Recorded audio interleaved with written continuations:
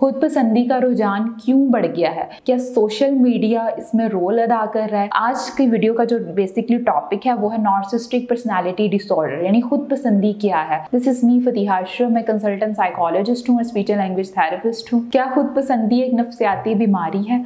इसका रुझान क्यों बढ़ गया खुद पसंदी यानी नॉर्सिस्टिक पर्सनैलिटी डिसऑर्डर अपने आप को पसंद करना, हर चीज़ एक मयाना रवि में अच्छी लगती है।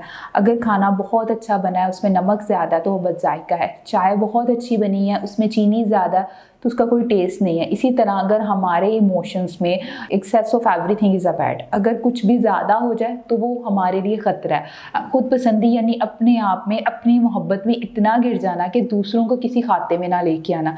खुद पसंदी जो है वो एक पर्सनैलिटी डिसऑर्डर है और जितने भी ये पर्सनैलिटी डिसऑर्डर हैं, ये बचपन से डिवेल्प होते हैं।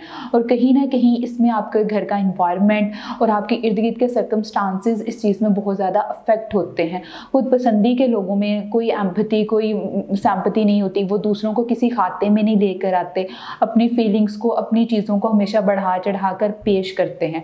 खुद पसंदी का अगर इसके कॉजेज़ पे बात करूँ तो इसका कॉजेज़ में ये होता है कि पर्सनैलिटी डिसऑर्डर है और 18 ईयर्स की एज में जो है वो डायग्नोज होता है। लेकिन ये डिसऑर्डर जो है, ये बचपन से डेवलप होते हैं। बचपन से बच्चों को बहुत ज़्यादा पैम्परिंग बना दिया जाता है, जिसकी वजह से ये डिसऑर्डर जो है बच्चे की पर्सनैलिटी का हिस्सा बन जाते हैं। अगर इसके ट्रीटमेंट प्लान पर बात करूँ तो सबसे पहले नॉर्सिस्टिक पर्सनालिटी के लोग खुद को कभी भी बीमार नहीं समझते।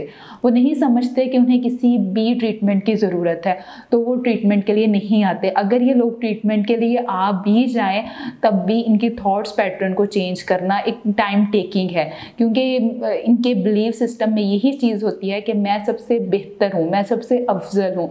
इसलिए ये अपने आप को, अपने थाट्स को जो है वो कभी भी चेंज नहीं करते। और सबसे बेहतर इसमें जो मेथड इस्तेमाल किया जाता है वो है सीबीटी उम्मीद करती हूँ ये वीडियो आपके लिए इन्फॉर्मेटिव होगी। Thank you so much